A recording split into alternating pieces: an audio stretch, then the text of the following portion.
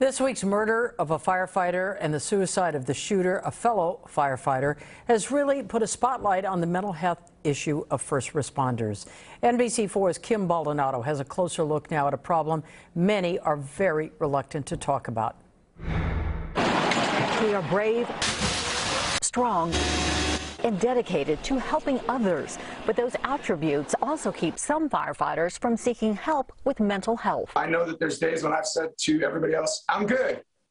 I'm totally good. I got this because I'm looking out for my crew. Dave Gillotte is a Los Angeles County fire captain and president of the Firefighters Union, which pushed hard for funding for mental health resources in 2017. In 2017, we could not look away when suicide became the number one um, cause of death for firefighters over all other causes combined. Suicide rates and stress levels are high for first responders because they see more death and destruction than the rest of us and are reluctant to talk about it.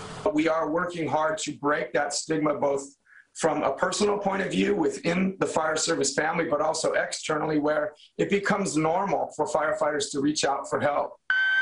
The LA County Fire Department now has regular suicide prevention training and a strong peer support program. Peer support is simply a system of our peers with a higher level of training to connect us to understand the emotions, the impact of what we might be dealing with, and how to deal with that.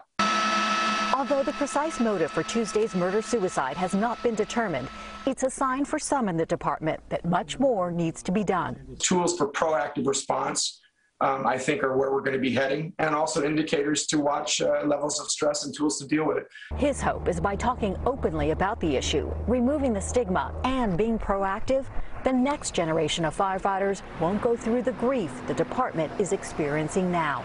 Kim Baldonado, NBC4 News.